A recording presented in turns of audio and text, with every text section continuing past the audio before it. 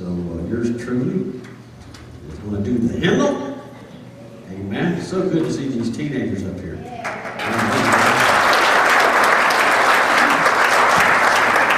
Remember when you were teenagers? No, I know you can't. We're going to sing a song. Well, good morning again. By way of announcements, the teen class, 6th through 12th grade, will be going next door immediately after the music. That's what all this yellow bunch is up here about. Uh, They served a great pancake breakfast this morning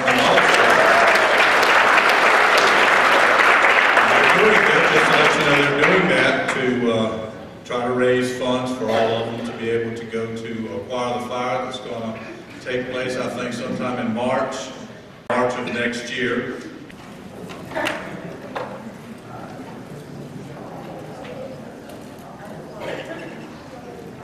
Did you get me?